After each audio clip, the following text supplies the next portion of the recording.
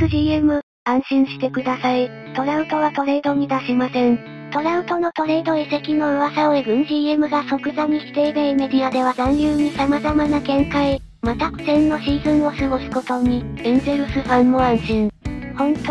過去に上がってた噂を否定した感じや、驚愕プラン発覚ドジャースが大谷翔平とトラウトのダブル獲得に動く？トラウトはエンゼルス痛いやろ気楽やし。10年契約してから何度規定打席クリアしましたかトラウトとレンドンいなくなったら見る選手いなくなるしな。現状のスターはいなくなるけど楽しみな若手はそこそこ売る気する。まあ河川チームにいたいかという話や特に大谷はサイヤングかかっとるし、大谷は？トラウト個人軍、トレードって言っても半分はエンゼルスが年俸負担しないといけないやろうし出したところでって感じやろ。大谷いなくなって DH 使いやすくなるしレフト DH でごまかしごまかし使ってたらあと数年はそこそこ使えるやろ。というかそんなことしたらさすがにエンゼルスファンがかわいそうすぎるやろ。トラウトは一生エンゼルスでプレイしたいんだから当然でしょ。